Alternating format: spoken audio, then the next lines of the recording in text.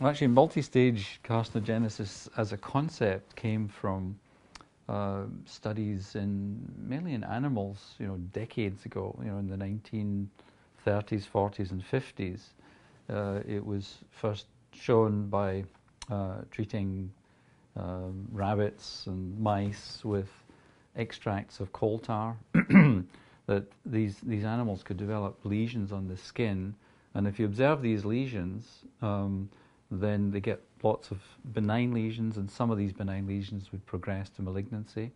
They'd become more invasive, then they would spread to different body sites and metastasize. So that concept of um, stepwise progression came largely from animal models, you know, many years ago.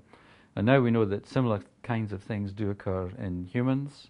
So in the colon, for example, um, colon tumors are initiated within single cells, um, but that single cell can then um, grow into a benign lesion, and occasionally that benign lesion can progress to malignancy.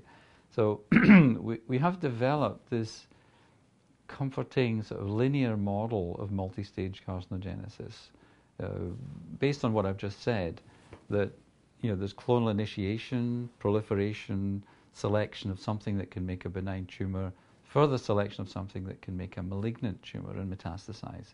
So this is the model, but it's increasingly obvious that there are major components of that model that are not correct. Um, that at any of these stages, um, there can be deviations from this standard pattern. So we know, for example, from uh, mouse models, that the initiating event, the clonal event that starts the whole process off, can occur in different cells within a tissue. And uh, as uh, I'm sure you know, tissues are, uh, all tissues have stem cells, and those stem cells can regenerate the tissue when it's wounded. Um, and it, it, can make a big difference if the initiating cancer mutation occurs within a stem cell or within a cell that has gone out of the stem cell pool and is now part of the differentiating cell population within the tissue. So uh, if the initiation occurs later on, you can still get a benign type of tumor, but that's you know the model that's come from the from the, the mouse models is that that type of lesion is more terminally benign and it's very unlikely to become malignant. So you have two types of malignant of uh, pre-malignant tumors or benign tumors, um, some of which have a high probability of becoming malignant.